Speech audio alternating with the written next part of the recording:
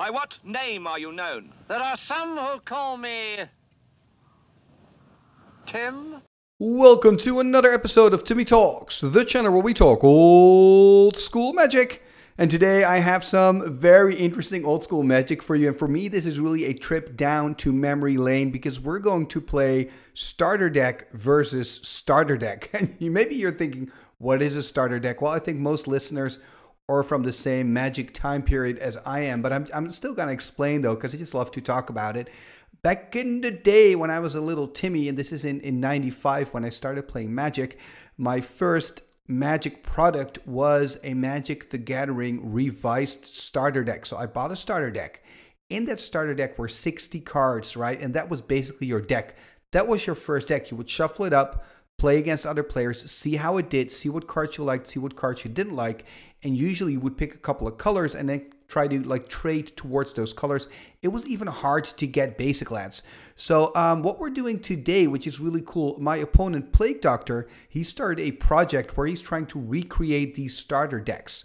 So he's, he's, he's looking through the internet, he's asking friends to remember what they had in their starter decks, and he's making these starter decks again anew with a beautiful real revised deck box, a real revised uh, rules booklet, and also the cards or like near mint or well X, let's say X, let's call them excellent condition. They're really, really sweet. They even have that kind of smell, you know, when I opened my pack, which was a mail day video, by the way. So if you click on the link that's appearing right now, you can check that out.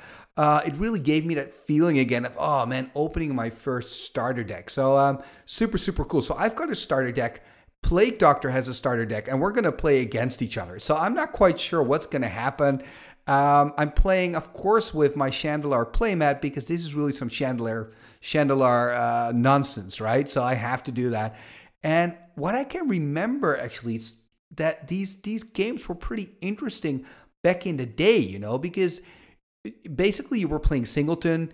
Uh, you had to have luck with the mana. The, the, games were slow, obviously, but they actually were a lot of fun. You had really weird game situations that you don't have in a constructed format. So I think this is going to be a really cool episode.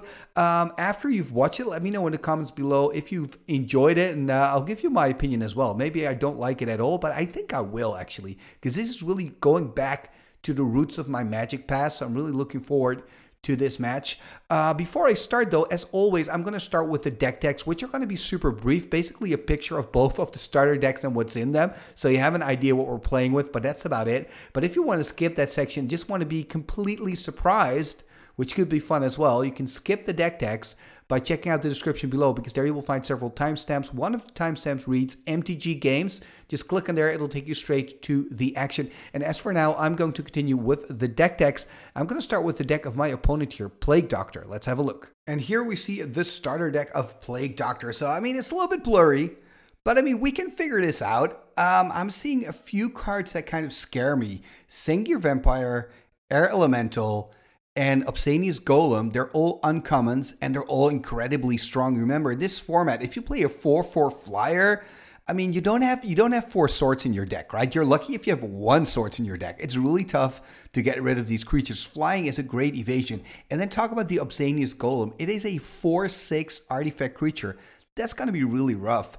Look at the rest of the deck. I mean, Keldon Warlord could be quite good although of course you do need enough creatures. And the thing is though, with the Air Elemental and the Sengir Vampire and the Warlord, that's something I've got to talk about mana base. Remember, remember these decks have horrible mana bases, right? It's all jumbled up here, but we can see that he only has one, two, two swamps, I think three swamps. He's got three swamps. He does have a dark ritual, but it's going to be really tough for him to find the mana to actually cast, for example, the Sengir Vampire or the Fear, just because they have double black in their casting cost. And then, you know, the Air Elemental's kind of the same story because he only has three islands. So maybe I'm lucky and he has them in hand, can't play them out. Um, when we're looking at the rest of the deck, we do see some other powerful cards though. We see Fireball, Disintegrate, they're great because usually these games tend to take quite long. I also think that just all the creatures are good. You know, you, if you have a body, it's good. Also, cards like Fire Breathing could be quite good in this format. Uh, you know, because an enchant creature, it kind of sticks to the creature. It's much harder in this format to kill a creature. Drudge Skeletons, because of that regeneration clause, is quite good. Um, and talking about the rares in the pack, I do see a rare that is really really cool here. We see a Taiga, so a dual land in this pack. So that is that is pretty sweet. Uh, that's of course the uh, the green and the red dual land. Unfortunately for Plague Doctor, we don't see a Kurde. But um, yeah, this deck it's looking pretty solid. I'm I'm a little bit scared. I see some really big creatures in here, and I see the direct damage, and yeah, it's kind of scary. Now let's take a look at my 60. And here we see my deck. So I actually kept the cards in order the way they were in the booster. That's how I kind of laid them out. And after this, obviously, I shuffled them up and we started to play. Uh, but there on the left top corner, you can see my rare. So I've got Pirate Ship, Personal Incarnation, and El Hajjaj. El Hajjaj, do I pronounce that correct? Anyway, um, yeah, the the cards are good. I think especially the pirate ship is a really good rare because it's only one blue and four, so that makes it kind of easier to cast. Remember, our mana bases are horrendous, right? I mean, how many islands do I actually have? I've got I've got two islands. No, three islands. Okay, I've got three islands, right? But remember, my opponent is in exactly the same spot, right? So we're both kind of trying to find the right mana. Um, talking about mana, this makes it really difficult for me to cast this next card, Personal Incarnation. Personal Incarnation is a bomb in this format, right? Six mana for a 6 6, right? And whenever it takes damage, I can actually redirect that damage to myself so I can keep it alive. The only problem is when it dies, I lose half of my life total, but that's going to be super difficult to do, right? You, you need like a terror to kill it, and then I lose half my life. But if he doesn't have that, you know, I'm fine. I'm solid. So it's a 6 6. The problem here is the casting cost. Three white to cast, right? And of course, I think three more, but three white and three. The problem here is the three white. I mean, look at my mana base. I've got one, two, I've got four plains, which is actually quite a lot. It's more than the other lands, I think, but still only four plains. So if I want to cast the personal incarnation, I need 75% of all my plains on the battlefield. I chances are quite slim that that's going to happen. So, I mean, I'm hoping that I can cast the personal incarnation, but I wonder. Now, let's talk about the last rare here of the three. That's El Hajjaj. So, El Hajjaj is two black and one. It's a 1 1, and for each damage it uh, it inflicts, you gain a life. So, it's kind of the first card with kind of this life link mechanic. Um, so, it's a 1 1. It's two black and one. I think looking at the black mana, I've got one, two, three black mana. Not a lot, but I can cast it. I think when I'm looking at the rest of the booster, I'm seeing some pretty good cards. I don't have a lot of flyers, I notice, but that's okay. I do have like a big body in the form of Earth Elemental. I've got a Fireball.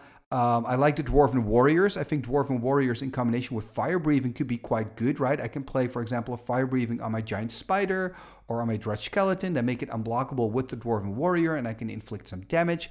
I think Jump is a really nice uh, trick, combat trick in defending when I'm on the defending side. Um, I'm actually, I'm, I have, I have a Lightning Bolt, I have a Terror, I have a Paralyze, so I've got quite a lot of answers to threats. I've got a clone to kind of copy their biggest creatures. So that would be quite nice. I've got an unstable mutation. I mean, this is a pretty decent pack. Um, I mean, if, if if I compare the two, the first thing I notice is that you know Plague Doctor has the flyers, but then again, I've got some pretty big creatures as well, and I've got some creature removal. So I'm not unhappy with this uh, starter deck. And I think this is really a 50 50 fair fight, you know, between me and Plague Doctor. So I'm, uh, I'm looking forward to it. You know what? Let's go to the match and then find out who's going to win this crazy, goofy starter deck challenge. Let's go. Game number one, Plague Doctor here on the play. Funny side note here, I actually won the die roll, but I chose to go second, thinking that card draw could be better in this format. You know, think about it. How are you going to draw cards? You can't. Just one card a turn, that's all. So I figured that maybe that one card can be uh, pretty big. Here we see, by the way, Plague Doctor not uh, playing a land. I'm playing my second land passing the turn. There's a second island here for Plague Doctor, so he missed one land drop. Both of us not able to play out anything yet. Yeah, I'm curious. It looks like I cannot play out a land as well, so I have to discard. Look at that discarding personal incarnation. Oh, no. I understand why I do it because what's the chance of actually casting it with three white in the casting cost? But still, it feels bad. Let's see what Plague Doctor can do. Finding a forest from the top, it seems. So he's got three lands. Will he be able to cast something? That is the big question. Yes, so far the game is actually going kind of as I thought it would. Kind of both players kind of trying to find the right lands to actually start casting something. And both of us seem pretty unfortunate with that thus far. Plague Doctor just passing the turn. Look at this, tapping two swamps. What am I going to do? There's a Drudge Skeleton, which is actually quite good. It's a 1-1, and for 1 black you can regenerate it. So, I mean, that's just really, really good. And I'm putting my lands in front here because that's just the way we used to play, you know? Back in 95, when I opened my first starter deck, this is what we were told to play by. You know, put the lands in front because the creatures have to walk over the lands. Look at that Plague Doctor now, also discarding a card, discarding a Reconstruction. A blue card, a sorcery. For one blue, you can uh, bring an artifact back from your graveyard. There's an Iron Star, I believe, so it's an uncommon. And every time uh, anybody casts a red spell, I can pay one, gain a life. So this could be useful. We're both playing with red stuff, so Plague Doctor now finding a white. There's a Pegasus. So this is a 1 1 flyer with banding. Art, I believe, by Melissa Benson, who also did the Shivan Dragon and the Lord of Atlantis. There's an attack for one. Plague Doctor dropping to 18, it seems. Yeah, of course, because it's my second attack here. Finding a Plains. Yeah, my camera, by the way, the setting here was quite bright. So I changed that after uh, game one. So sorry for that. It's kind of hard to see the uh, the lands now with this setting. Anyway, passing the turn to Plague Doctor, who's got a beautiful playmat, by the way, made by uh, Ken Meyer Jr. There's the attack, drawing the ape on there himself. Passing the turn there, untap with the Drudge. There's the attack. And Plague Doctor falling further behind. I'm on 19 now, by the way. I believe Plague Doctor's on 17. And I've got a COP red. I played that in the meanwhile. And Plague Doctor played a Circle Protection white. There are more lands now. So we're really kind of finding our lands. I'm a little bit jealous of Plague Doctor because he's got islands and forests and plains. And I've only has swamps and plains. So uh, I'm just hoping to to find some other lands. I'm sure my hand's probably full with like red, green, and, and blue spells. Anyway, attacking here again. I mean, I can't complain. I'm kind of winning this this game thus far. Plague Doctor dropping to 16. And now um, he still has to untap that Pegasus, by the way. I think he kind of forgets exactly untaps attack. So I'm going to drop to 17. Drawing a card for turn. Oh, there's an island. So maybe now I can play some blue stuff. What can I do with an island?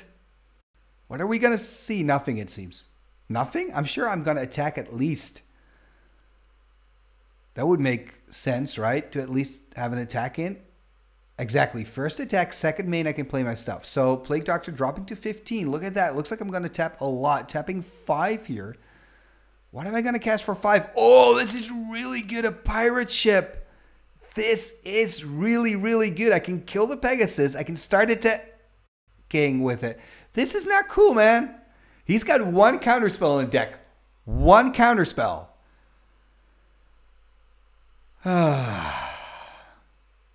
life I lead. I mean, you know me. I love pirate ship. I play pirate ship in Timmy's spellbook. The problem with the ship is though, it, it, it, or or it gets countered like this when it's finally useful, or it gets killed in another way. It's it's tough to play with the ship, but it's super cool. So I'm going to keep doing it. But it is tough. I can tell you that. This is just another like scar on my pirate ship memory.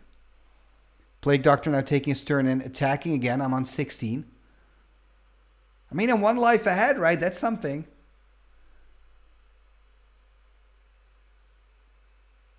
Passing the turn here. Okay, let's go to the untap. What can I do? I've got five mana. That's pretty good. I've got three colors. I mean, I can't complain about that. It's funny how we both have Circle of Protections on the board that are not helping us at all. Like, he's got the white one. What are you going to do with the white one? I think I still got some white creatures in the deck. Benalish Hero, I believe. So he can protect himself from the Benalish Hero. That's something. I think the red one is, is a lot more useful. There's the attack. So putting Plague Doctor on 14. And we were having a lot of banter, by the way, in, in during this game. So don't be surprised if you see some some mistakes. Passing to turn, so Plague Doctor untapping.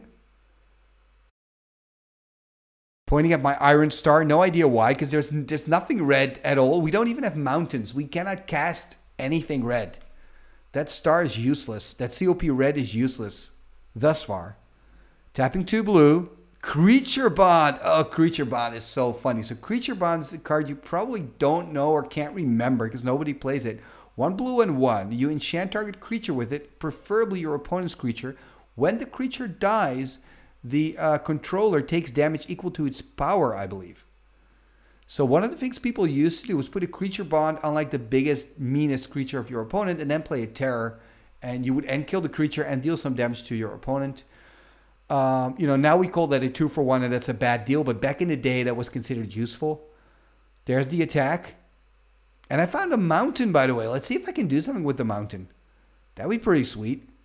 Tapping three, four. Okay, no three. Okay, Dwarven Warriors. That's actually quite nice. Like, if, if Plague Doctor keeps attacking, fine, I'll attack with the Dwarven Warriors. But if not, I can use it to make a creature unblockable or maybe offer a trade. Anyway, making a life here as well with the Iron Star going up to 16. So I'm making it kind of difficult now for Plague Doctor. Like, this is this is what I like about these like sealed starter deck kind of format, I guess. You know, that's what we're doing is that all of a sudden having access to a mountain can make a huge difference. Having one Dwarven Warriors can kind of tip the advantage to the other side. And I mean, the same thing goes to Plague Doctor. Like, I've, I've got a slight advantage here, but Plague Doctor, if he finds the right land or the right card, he can be right back into it. Going through his hand, I'm sure. Maybe he needs black, you know. Maybe he's got a Sengir Vampire in hand. Who knows?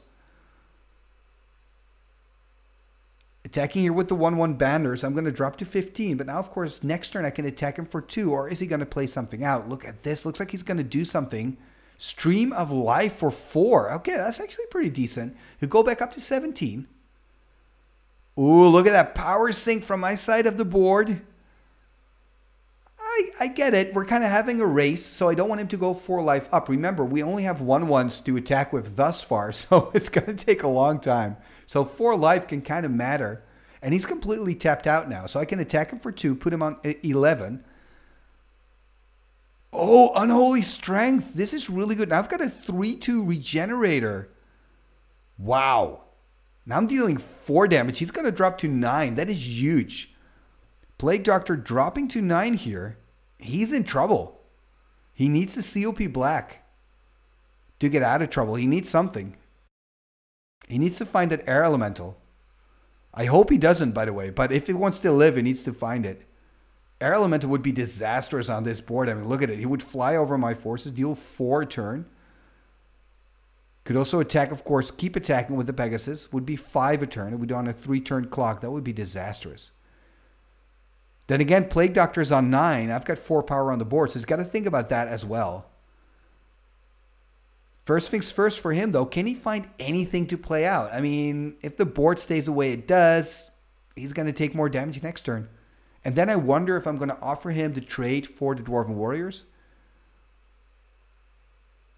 So passing the turn here, going to untap.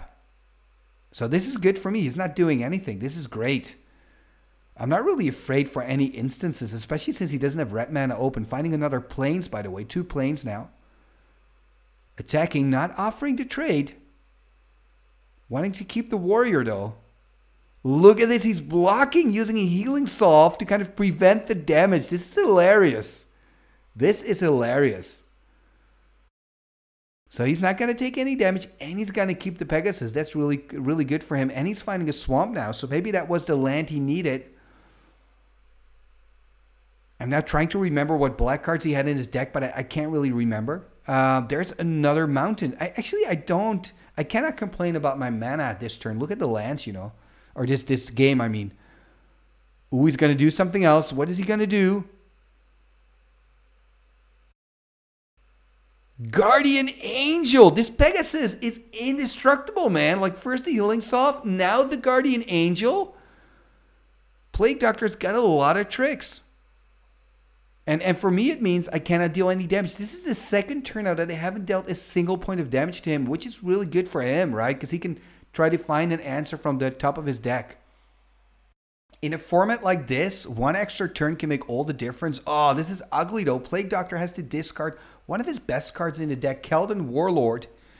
You know, which is uh, two red and two for an asterisk asterisk creature because his power and toughness depend on the amount of creatures that he has on his side of the board. So if it would play it now, it would have been a 2-2, but he doesn't have any mountains. Look at this, going for kind of an alpha strike here. Dwarven Warriors in there as well, offering to trade to Plague Doctor. Looks like he's going to chump instead. Just take one damage, go to eight. That's kind of it's kind of understandable. Oh, I'm counting. Do I have a fireball? Do I have a fight? Really? Am I going to end it with a fireball? I'm going to end it with a fireball. I'm a little bit, you know, I don't want these games to end with a fireball, but do I have a counter spell? No, we don't. No, I thought, does he have two counterspells in there? Of course he doesn't. Look at his hand, though. Sengir Vampire was in there. I called it. And a lot of red. Wow. I had that clone. I guess I kept that clone for the right moment. Just wait until he maybe would play out his air elemental or whatever. Now remember though, uh, we haven't seen each other's decks beforehand, so we don't know kind of what's in there. I guess in a way Plague Doctor knows because he's made them. Uh, but I don't, so I, I don't know that he's got an Air Elemental, for example, uh, in his deck, or, or a Sengir, but now I do, of course. Anyway, uh, this is game number one. Winning it here, feeling really, really lucky that Plague Doctor couldn't find the second black, for example, for the Sengir, then it would have been a completely different story. Uh, talking about different stories, we're going to shuffle up now, and we're going to play game number two. Game number two, here we go. And in game two, we're actually showing our hand. So here we see my hand. Three lands, pretty good. Uh, I can play the Benalish Hero turn one. Don't have any black mana, I think, which is kind of unfortunate. And now Plague Doctor is going to show his hand. Just to clarify, while we were showing the hands, because this is for you guys, we were looking away, of course. So Plague Doctor, ooh, look at that. He's got the Taiga. He's got a Grizzly Bears. That's looking pretty good. That's looking, that's looking really good. Anyway, um, let's see who's on the play here. Okay, Plague Doctor starting with his Taiga. I mean, that's impressive when you're playing against in this format. Someone starts with a dual. You're like, what? That is impressive. Finding a plains. What am I going to do? There's my Benalish hero, of course. So there's the hero passing the turn.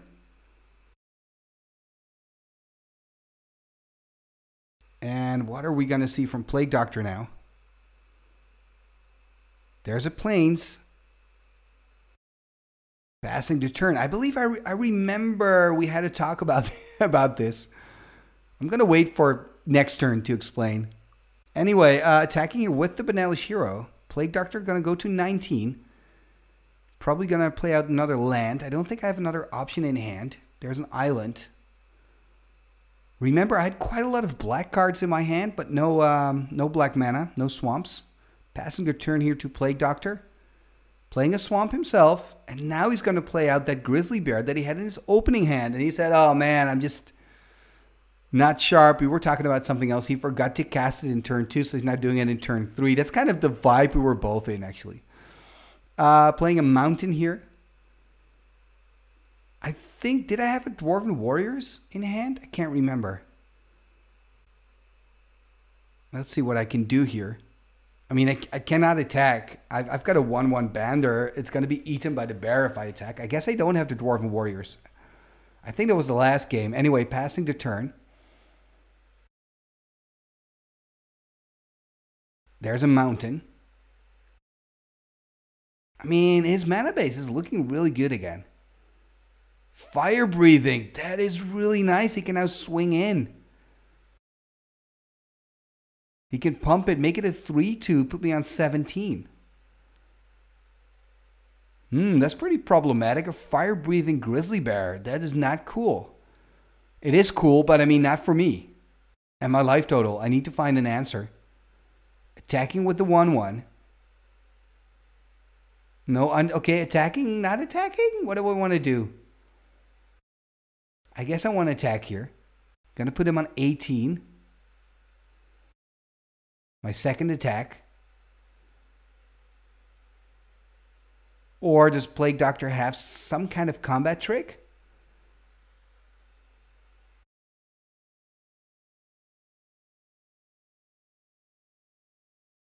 Yeah, just taking the damage. He's going to drop to 18.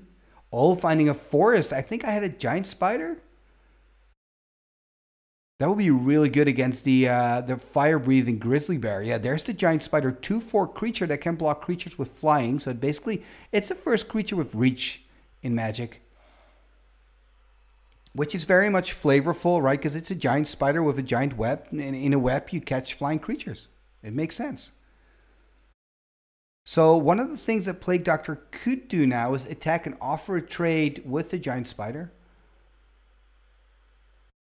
Looks like he's not going to do it though. He's going to play his Drudge Skeleton past the turn. Drudge, of course, a really good blocker next turn. He doesn't have any regeneration mana open at the moment. So also Plague Doctor kind of giving me an opening here. I could band and attack with the 3-4, uh, 3-5 then of course when I band it. But then on the crackback could be problematic. Look at this. Tapping 4. There's a Hill Giant 3-3 vanilla. Actually pretty good because the 3-3 can also kill the uh, the bear. So it kind of means I can attack her with a band without any real consequences. So attacking or banding them together, so it's a 3-5 now. I don't think Plague Doctor is going to block this because, I mean, if he does, he's going to lose the Grizzly Bear or the Drudge and get nothing in return. So why would he? Exactly. Taking the damage, untapping. He's on 15. I'm on 17, by the way. Let's see what he can do. Tapping four. Ooh, disintegrates on the hill giant. That is painful. Now he can swing in for three.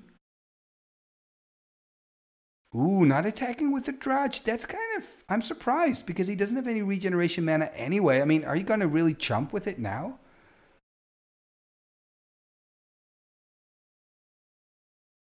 Interesting. I could also decide to attack separately here and offer him a trade with the Benalish. It's it's tough though because banding is a really good ability. Then again, regeneration. I think regeneration is maybe even better. So yeah, look at that, offering him to trade, just only attacking here with the Benalish. He's taking the damage. So dropping here to 14, and I still have my Spider to block the Grizzly Bear next turn.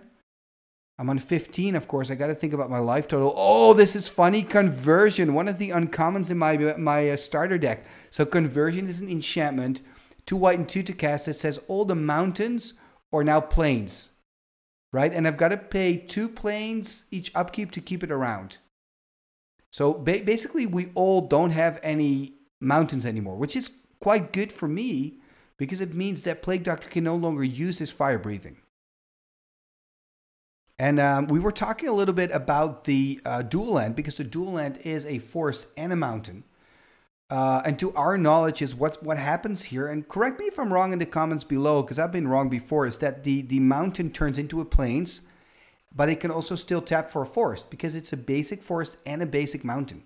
So when he taps it, he can choose if he wants to make it a mountain, then that mountain's actually a plains, or if he wants to make it a forest. So yeah, that's that's kind of kind of funny to have these uh, these situations. Anyway, let's see what uh, what else Plague Doctor is gonna do. So his flipped around lands, by the way, or, or, or it's the dual land, and that's the mountain that's turned into a plains. And I've got my two mountains that are actually plains under my conversion just to pay for the upkeep cost, and also to remind myself that this weird rule is uh, going on at the moment.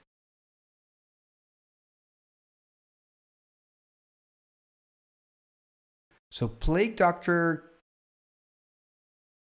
is there really a good attack for him? I mean, he could attack with the Drudge, just regenerate, but that's about it. So choosing not to attack makes sense. We both kind of have our walls up at the moment. Playing another land. I guess I'm just going to pass, though, because, I mean, I, if I attack, there's not really good attack for me with that Drudge and uh, the Untapped Swamp. So three cards in hand, passing to turn to Plague Doctor. Game number two here. I'm uh, I'm on a one game win. So Plague Doctor needs to win this one. Tapping a plains, which was formerly known as a mountain. Oh, look at this. I like this. To put a holy strength on a skeleton. Wow. So uh, holy strength gives plus one, plus two. So it's now a 2 3 with regeneration. It still doesn't do much, but it's better. You know, and it's really nice to kind of put your enchant creatures on a regeneration creature because you know the regeneration creature will probably be around a long time, especially in this format. There, there there's no sorts. We do play with disintegrates, both of us, Plague Doctor already having played his. So if I can draw into my disintegrate, that would be ideal. Then again, I would need to let the conversion die, by the way, to get mountains back. Oh, that, it's so, this game is so funny. There we see Plague Doctor playing the, the mountain, turning it around again, flipping it because it's now plains. He's got a lot of plains. Passing the turn, so we're kind of in a stalemate uh, position here, situation. Plague Doctor 14, I'm on 15. We just have to wait. Okay, tapping something, untapping it again. Maybe I've got like a, a, jump. I could give one of my creatures flying like the spider deal two damage, but I mean, that's kind of a waste of resources, right? There's a quick pass again and a quick pass. So both of us just passing turn. And I wonder what's in my hand. Maybe I've got a lot of red cards in hand, and I'm, I'm, maybe I'm waiting for the, for the perfect moment to start letting my conversion go, which I guess is getting. If that's the case, I'm probably going to sack it next turn because I've got seven in hand now. Really don't want to start discarding. I mean, if I've got red cards, I've got some few really nice red cards, like an Earth Elemental. Look at this, exactly. So I'm not going to pay for the upkeep. Conversion will be destroyed, and we're all going to get our normal lands back. So it is a bit risky because maybe Plague Doctor has like a Fireball in hand. Who knows? But hey, I'm taking the risk. I want to play stuff. Seven cards in hand. Eight, I guess, after the draw. Looks like I'm going to tap some red. Ooh, I'm tapping quite a lot. What am I going to do here? Fireball. Wow, a huge fireball. And I guess I'm playing a fireball for two damage on two targets. Exactly, so six mana tapped. So I'm destroying the Grizzly Bear and the Pegasus. And after that, of course, I could attack. Look at that fire breathing on the spider. Wow, there's a lot of fire breathing here in this match. And it's actually quite good. The problem here for me, though, is that um, that Plague Doctor has that regeneration creature. I need to find a way to get rid of that Drudge. Passing the turn now back to Plague Doctor, who also, of course, has access again to his red mana. I mean, is he going to play a Fireball on my creatures? I wouldn't be surprised. It looks like he's going to do something. Tapping three here, two red and a white. Ooh, Orcish Artillery. That's actually quite good. A 1-3 creature. You can tap it. It can deal 2 damage to any target, but you take 3 damage yourself. But it's a great way, like in a blocking situation, he can attack with the Drudge. If I block on a Giant Spider, he can kill the Spider. He can kill the the uh, the Benalish Hero whenever he wants to. So yeah, this is this is a really good card. This, this gives Plague Doctor a lot of options. I believe it's also an uncommon, by the way. Little nice side note is that the alpha printing uh, is only costing one red and one to cast. I mean, that's just insanely powerful. Tapping the blue. Okay, what am I going to do with the one blue? Oh, I did have to jump. Okay, so I'm giving flying to my spider. So I'm giving flying to my fire breathing spider. Can you kind of make an image in your head what that looks like? And then pumping it up, dealing four points of damage here to Plague Doctor. So what I'm trying to do here is I want to put his life low, also because of the Orcish uh, artillery. So every time he uses the Orc, it's really going to be painful for him, right? He's already on 10. So I want to make him think about it, that it's not like a freebie for him to use the Orc. So that's why I'm getting kind of aggressive here. It is risky though, because now, of course, Plague Doctor can attack. Oh, what is he going to do? Unholy strength. Oh, this is so bad. So it's it's a 4-4, it's a it's a 5-6, it's a Mahamoti Djinn with regeneration that doesn't fly, but still Mahamoti Djinn stats. This is ridiculous. Oh man, this is so bad. So remember, unstable mutation, when you put it on your enchant creature, it gets plus three, plus three, but every turn you put a minus one, minus one counter on it, so it slowly gets smaller. And yeah, I'm, I'm putting my Benalish in front of the bus. I kind of feel like I have to. I don't want to take like five points of damage. Oh man. in a way, I'm happy that Plague Doctor decided not to kill the Benalish. Then again, he would drop to seven. I could attack him for four. Yeah, that would have been a really bad move. Yeah, this is this is the this is a good play by Plague Doctor. I guess he could have considered waiting maybe one more turn with the unstable and see if I would have jumped, but probably then I would have taken the damage. Anyway, it's looking quite good for Plague Doctor here. Hurloon Minotaur hitting the board as well. There are just way too many creatures here for for my opponent here. Hurloon, a 2-3 creature, two black, uh, sorry, two red and one to cast. And I mean, this is a huge problem for me, right? Because next turn he's going to swing in with the Hurloon, with the Drudge, and if I block the the Hurloon, he's going to kill me or, or kill the the Spider with the Artillery. If I block the the Drudge, he's going to do exactly the same. Ooh, tapping everything here. Already played out my fireball, of course. Okay, playing out a stream of life instead. That's nice. That's some life. Okay, that's going to give me a little bit of time. I think maybe I should have attacked first, keeping the red open. Then again, he could have killed it with the Hurloon blocking combination with the artillery. Yeah, so this makes sense what I've done. Anyway, going back up to 22. This is really a race here. The problem is I'm not racing because I can't really attack or block with the spider. It's, it's really difficult. I'm in a really tough spot. I guess if you're Plague Doctor, exactly, you just want to attack. Now remember, it did get a minus one, minus one. So it's no longer a 5-6, it's now a 4-5. He's also attacking with the Hurloon Minotaur, hoping that I'm going to block, of course, because then he can kill it with the artillery. I think it's just going to have to take the damage here. But that's tough. That's six points of damage. I mean, I'm on 22. I'm going to drop to 16.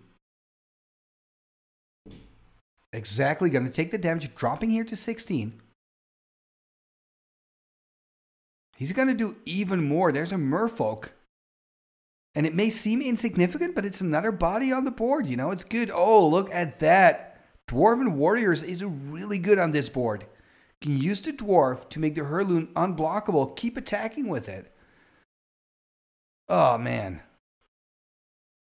it's looking really bad for me. The only thing I've got going for me is that I'm on a higher life total. I need like I need like my pirate ship or my personal incarnation. I need like a big card. Playing the wreck here. Okay, so the wreck is going to deal a little bit of damage to Plague Doctor because he's got two cards in hand. Looks like I'm going to do something else. Oh, I play, uh, what's this card called again? Power Leak? Could it be a Power Leak? So what happens? A Power Leak is an enchant enchantment uh, you put it on the enchantment of the opponent, and the opponent has to pay two mana every upkeep. If he doesn't, he takes a damage for each unspent mana. So you can pay one mana, take one damage, or pay two, take zero damage, or not pay any mana and just take two damage.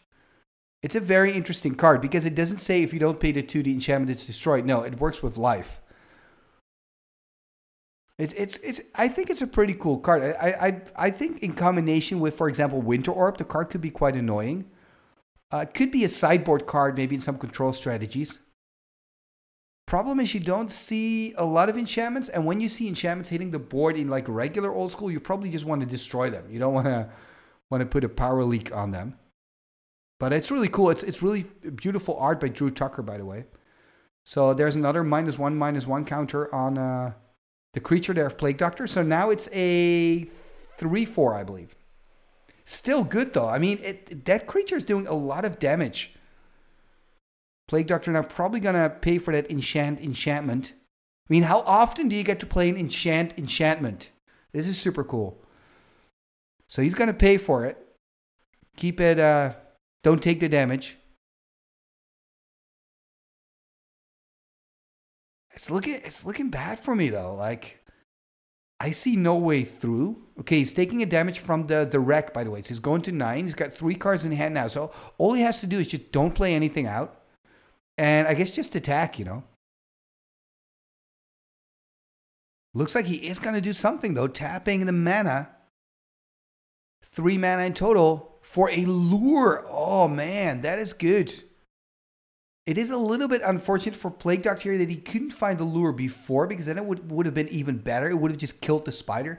Now, if he wants to kill the spider, he will have to also use his artillery. But the good thing here, though, is that he can attack with everything, and you know I have to block the creature with lure on it. So lure an enchant creature two green and one that basically says all creatures that are able to do so have to block this creature.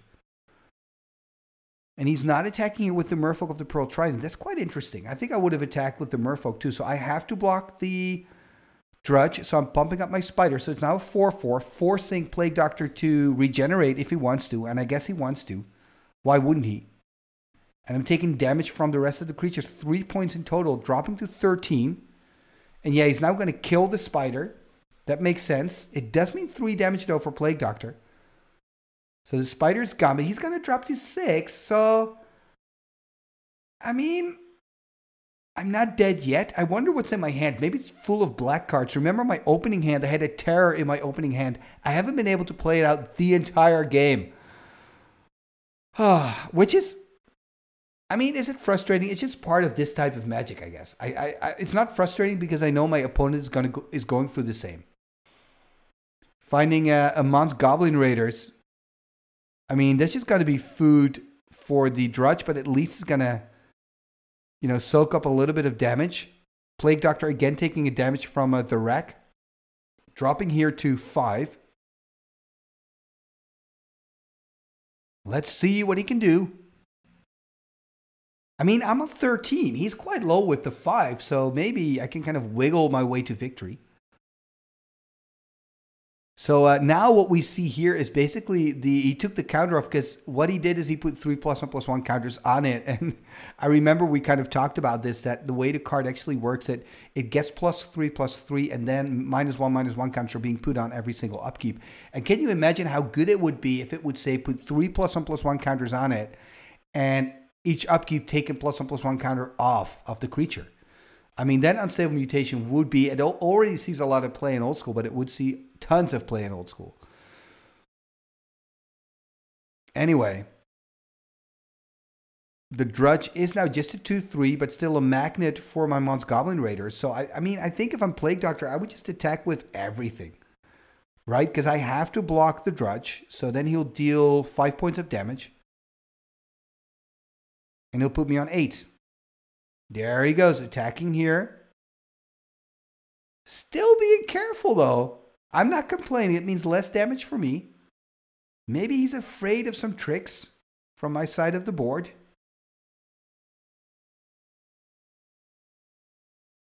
And now passing the turn back to me. So I'm on 11. He's on 5. Can I find something? Okay, there's a swamp. So now I can play the terror that I have in my hand. The question is, what do you want to play it on? I could play it on the Hurloon. I could play it on the uh, artillery, which has been a pain in the ass. But right now, artillery is not a problem because I don't have a creature he can target. Maybe I've got a creature in hand, though, that I want to play out, but I can't because of the artillery. So, artillery would be a target here, depending on what I have in hand. Okay, playing a paralyze first. What am I going to play a paralyze on?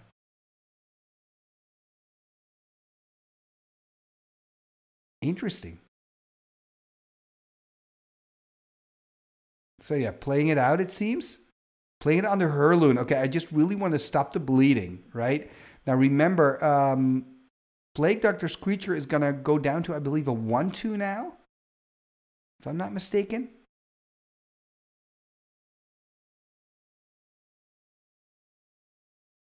Yeah, so 4 minus 1 minus 1 counter. So now it's a 1-2 because of the Holy Strength. So I could still hit for one. Untapped is Hurloon, by the way, it seems. Not quite sure if he tapped enough mana for that. Because I believe he paid the two for the power leak. Yeah, then he's got to pay the four. Yeah, mentioning it now. Then he's got to pay the four for the paralyze. Wow, that's a lot. He's just using all his mana to just untap everything and pay for the costs of the power leak. Attacking with everything here. Oh, not even with the, I would just attack with the Drudge. I think it's still a 1 2 if I'm not mistaken. Exactly. Attack Attacking with the Drudge as well. So he's going to deal four points of damage. I'm going to drop you to seven. I mean, I'm dying. I'm slowly dying, but I'm dying. And I'm actually not been able to do that much. I mean, paralyze is okay ish, but it's not a lifesaver. Now remember, I've got the terror in hand still. He's on four. I get it. I'm so close. Probably going to play the Terror now. Yeah, play the Terror. Going to play the uh, on the artillery probably. Yeah, exactly. I think that's a good decision. You know, I mean, the other thing I could have done is is is, is maybe play. So now it's a zero one creature, by the way. Is maybe play paralyze on the artillery because artillery you got to you know you got to tap for the effect, which is kind of nice. And then play a terror on the Hurloon. That could have been an option as well because now he can attack me with the Hurloon. For he can attack me for four until to put me on three. And I mean, he's got the mana to to untap anyway, so. I think the Drudge is now a zero one, right?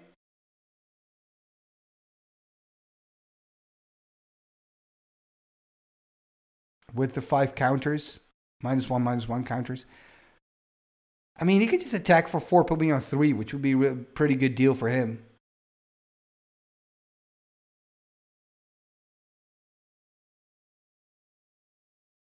Tapping four. Okay, he's gonna do something. Oh, there's a flash fires. Ooh, that's some really nice personal incarnation protection that he's got there. Even if I top deck into that card now, I can no longer play it out. So Flash Fires destroys all the plains in play, including the ones uh, on the side of Plague Doctor. He's got two plains. There's the attack now for three. No, for four. So I'm going to drop to three. Oh, man. I'm dead next turn, right? I need a blocker at least. Right? And remember, he can make his creatures unblockable with the Dwarven Warrior. So it's going to be tough. Okay, there's a clone. What am I going to clone then? I guess the Hurloon, just to have a big body. to 2 3 can bump off the, uh, the Hurloon. Problem, of course, is that uh, Plague Doctor can make it unblockable. So now the uh, the Drudge skeleton disappears. It's finally dead.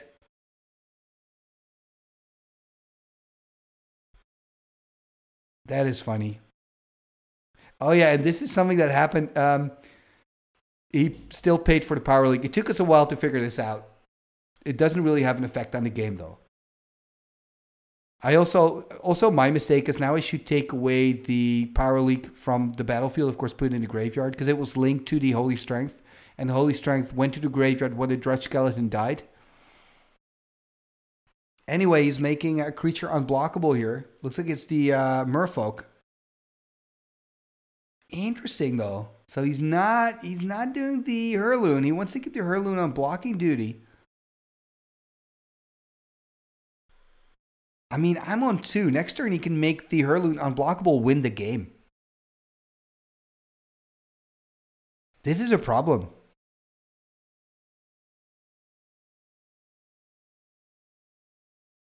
I'm in the tank here. Tapping a red. Do I maybe have... I think I remember this. I think I had a lightning bolt from the top of the deck. Now, the problem here is I can bolt Plague Doctor, put him on one, but then next turn he kills me. I can bolt the Hurloon Minotaur, right? Attack with my Hurloon, put him on two, but then he, he kills me next turn. I can bolt the Merfolk. Why would I bolt the Merfolk? So my conclusion was the only thing I can do to survive here exactly is bolt the Dwarven Warrior. Because the Dwarven Warrior can make the creature unblockable, and that's what I don't want to happen. So I'm still in a bad spot because he can attack with both right? And I, am forced to block the Hurloon because I don't want to die. So I take a damage from the Merfolk of the Pearl Trident and go to one. Oh yeah, here we see us discovering that we no longer have to pay for the power leak, putting it in the bin. But this, I mean, this has been a pretty intense battle here in game number two. I mean, Plague Doctor's on four. I'm on two. I feel like I've got one more turn. And remember, in these games, one more turn can make all the difference. I mean, it's singleton mode, it's top decking mode, it's luck mode. What if I find a pirate ship next uh, next turn? That would be huge. Gonna tap four. Oh, flying carpet. That is so bad. So he's gonna put his Minotaur on the flying carpet. He's gonna win though. I do have a shatter though, so I can destroy the carpet, but in response, Plague Doctor can put the Hurloon on the flying carpet and win with it. And maybe you're wondering, hey, but if the carpet is destroyed, isn't the creature on the carpet destroyed? That's the way it used to be. But under new modern rules, we're playing modern rules here that doesn't apply. I think maybe we should have played the cards like the way they're written on, you know, especially since we're doing this starter deck challenge. But here's the but we didn't discuss that beforehand. So if you don't discuss these things beforehand, you assume you're following the um, you assume you're following the modern rules. So you know, fair is fair. So in this case, I just died to a flying Hurloon Minotaur, which is a great way, honorable way to die. Um, but maybe it's worth to think about um, playing the cards the way they're written down in this specific format because it's so it's so old school, right? And that's also actually the way we we used to play back in 95 because you didn't have the internet to look everything up. You didn't have a judge. There, there just wasn't that much knowledge in your game store. So you would just read the card over and over again and try to come to your own conclusion or have a little discussion with your, your friend and decide how you were going to play a card. You know, that's the way we used to do things. Anyway, uh, Plague Doctor winning here in a thriller of a game two, and it's 1 1. So we're going to go to game number three. Game number three. So it's 1 1. Here we go. This is my opening hand. I mean, land wise, it's not great. The rest is good, though. I saw an El Hajjaj. If we can find a second black, let's see what Plague Doctor is working with here. Oh, there's that flying carpet that gave him the victory earlier in game two. He's also missing some important mana, like he's got the Pegasus, but no plains. So we're both kind of in a rough spot. Seems fair. Starting with uh, an island here, passing the turn. So I mean, we can we can play out our lands and hopefully we can find the right colors. Also a pass here from Plague Doctor. There's a swamp, okay. And also a pass, so no really action, uh, early action from both of us. There's a mountain. Pass again. Who's going to play something first? That's the question. Oh, just a pass by me. Missing a land drop here.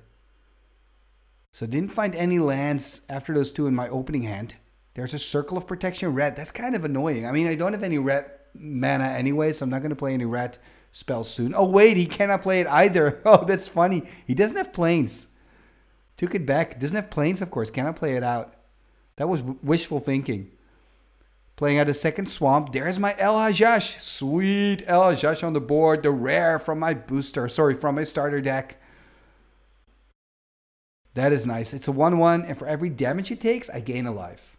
So as long as Plague Doctor doesn't play anything out, I can just attack and gain life. Let's hope he doesn't play anything out because it's just a 1-1. So it's quite easy to block. Passing the turn. Okay, this is brilliant. Attacking him here for one. So he's going to take a damage. I'm going to gain a life. This is good news. El Hajjaj, really a card that hardly sees any play in old school, which is kind of a shame. I think maybe if you play mono black, right? And you play with uh, Bad Moon, that would be kind of cool. Make him huge and just attack and gain life. Plague Doctor here tapping four. There's a flying carpet. Okay, we saw that in his opening hand, so he's not really finding anything else, or at least no creatures that he can play out. He still needs the white for the Pegasus. There's the attack again, so I'm going to go up to 22. He's going to drop to 18 past the turn, I guess.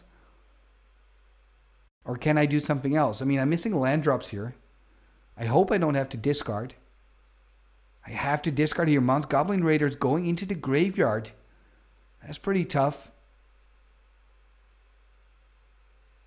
It's really interesting when you're playing this type of magic, you know, with these starter decks. It's a completely different game. I mean, now I guess you would get kind of frustrated if you get mana screwed, but when you're playing with these decks, you're kind of expecting it and you don't really get I mean it's not fun, but you don't really get pissed off. Actually, the discarding of cards is also an interesting part of the game. Like what cards are you gonna discard? What cards do you want to keep in hand? Like for for example, this time I chose to discard the Crumble because I haven't really seen any good artifacts from Plague Doctor, and also Crumble gives him life. So I don't want to give him life. So I've got seven in hand, I guess, right? I mean, so far so good. I mean, the El Hajjaj is dealing damage. I'm gaining life. Uh, as long as Plague Doctor doesn't do anything, I'm on a road to victory. But that seems highly unlikely that he's just going to do nothing for 17 more turns. that would be hilarious. That would make this a really boring video as well. Ending of the video, I should say. So waiting right now. Let's see if Plague Doctor can can do anything. Maybe he's got a discard. Needs some time to to make a decision. Discarding the Circle of Protection white. I mean, I do have that personal incarnation. Who knows? Maybe it'll pop up later in the game here. There's a white mana. Can I do something with it? Maybe a Benalish hero for one. That would be nice. I guess not. Attacking again with the El Hajjaj. Going to 24. Plague Doctor taking another hit. It's Going to 16. Passing the turn back here to Plague Doctor. Finding a mountain. I guess he needs plains and swamps or else he would have played something out. There's another plains though. Ooh, what if I can kind of, you know, find a third plains and draw into my uh into my 6-6, my personal incarnation. That would be insane. In the meanwhile, by the way, still attacking Plague Doctor. He's finally finding a plains, so he can now cast his uh, Pegasus. 1 1 flying banding.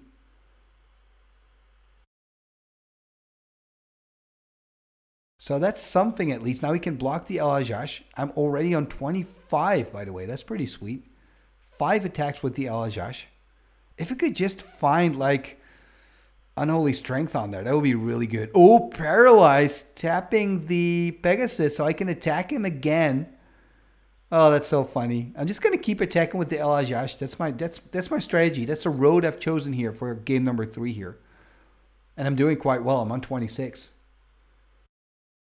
I wonder if he's gonna untap.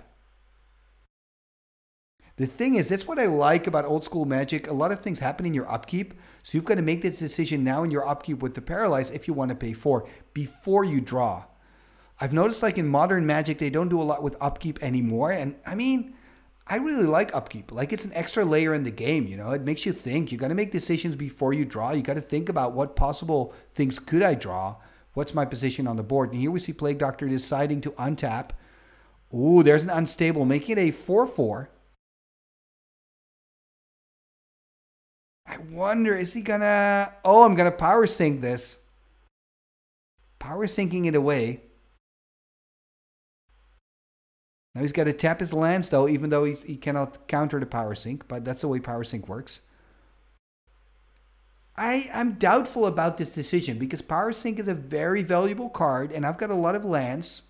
So maybe I shouldn't have done this because yes, yes, I'll take some damage from the Pegasus, but every time he attacks, he's going to untap it again with the Paralyzed. Now I'm offering him a trade here.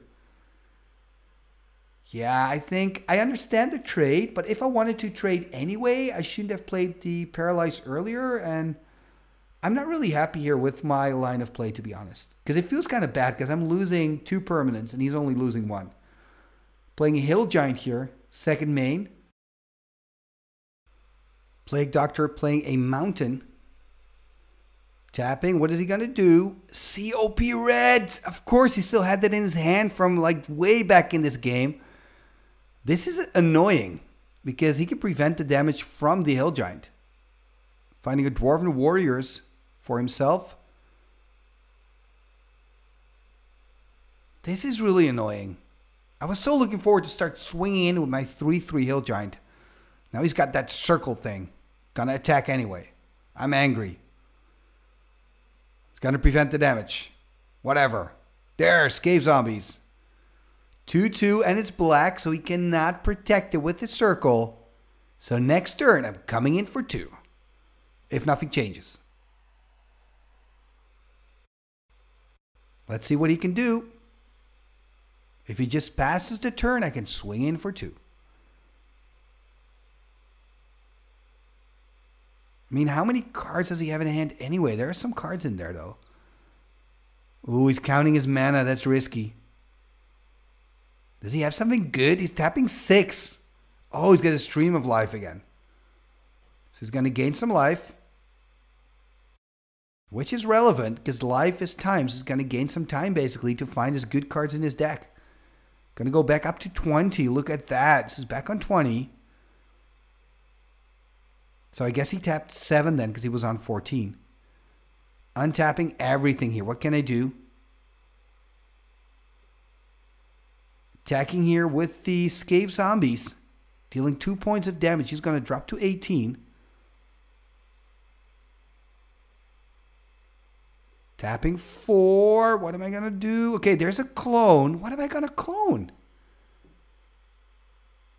I mean, one of the things I could do is clone the Scathe Zombies because it's black and keep attacking. I could also clone the Dwarven Warriors because Dwarven Warriors is quite a good creature in this format. You know, it can make creatures unblockable, which is which is pretty big deal. Oh, look at this, Obsianus Golem.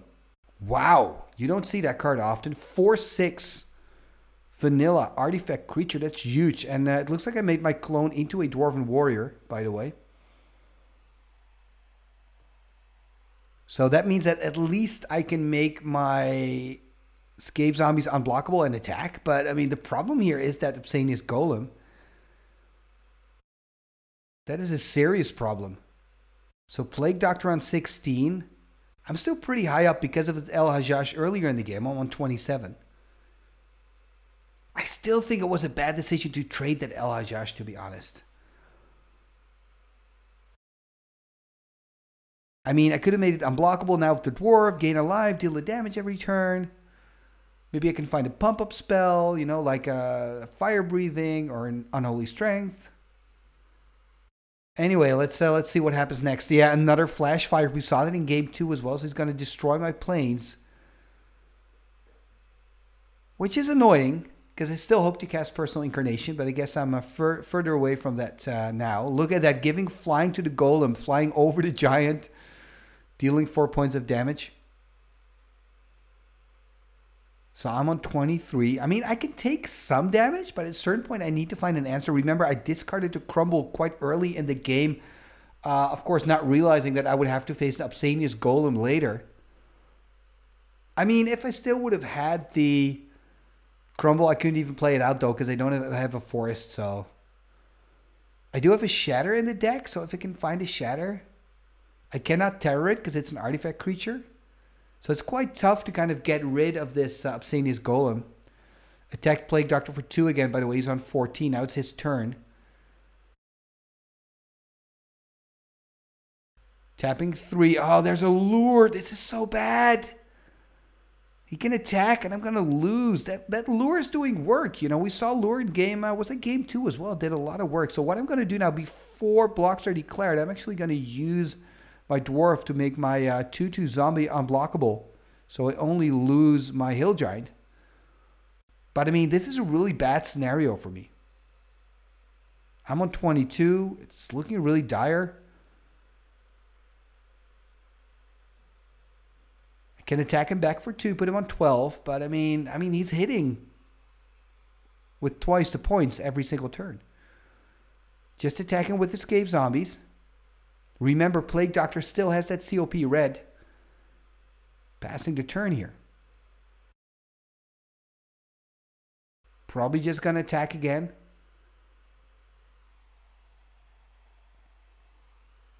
Gonna swing in for four again. Four through the air this time. This is quite interesting. Doesn't want me to jump here. So I'm going to drop to 18. Now the question is, am I going to use my dwarf to make my Scathe Zombies unblockable? There's a star. Attacking with the 2-2, so offering to trade. He's taking the trade. Not sure if this is a good trade. I don't know. I mean, hopefully that star can give me some life as well. But I mean, this is a race that I, I cannot win, right? I need... He's on 12. I need six turns. He only needs I'm on 18. No, I'm lower, right? I'm on okay, I'm on 14. So he needs four turns. This is really tough. I can attack him now, put him on 10. I'm really kind of praying to the top deck gods. Also attacking now with my dwarf. Looks like he's taking the damage though. Nope, he's not. I think he realizes it now and he's protecting it with the COP red. So only taking two, going to drop to 10, but I'm going to drop to 10 also next turn. Unless I can do something here. Discarding a Grizzly Bears. Yeah, this feels really, really, really bad, you know? Because everybody on the battlefield is one, especially since we're both like doing this kind of, you know, attack and um, we're trying to outpace each other. That's what I'm trying to say, I guess. Attacking again for four. So he's going to put me on 10. This is really bad.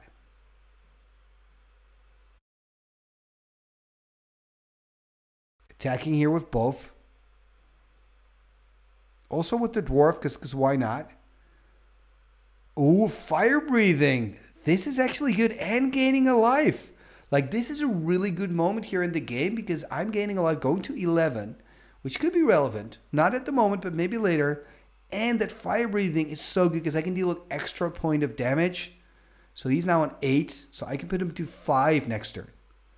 It's going to put me to 7.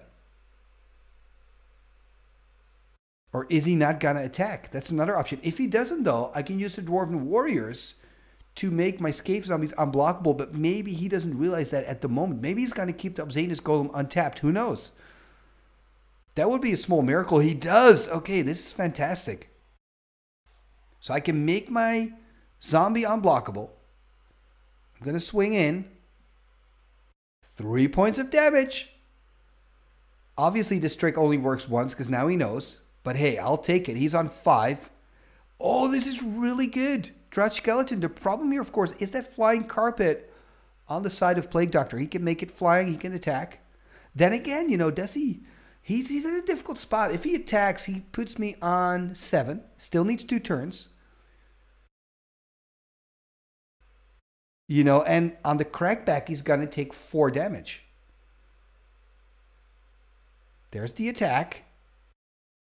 I'm smiling here. It's looking good for me. Untapping.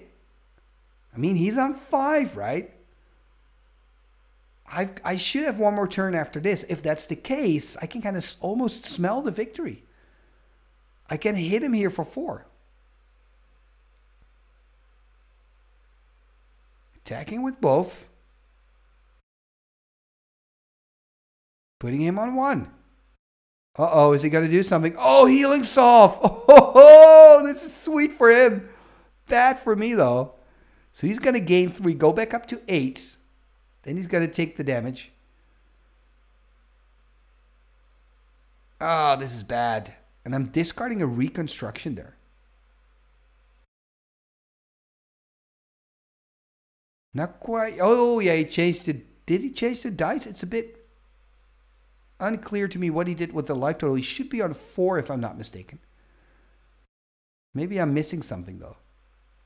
Ooh, there's an artillery. I can gain a life from the artillery, but this is really bad. Making it flying, attacking here. Putting me on three. Oh. At least I can go up to four because of the star, because of the, the orcish artillery that came into play.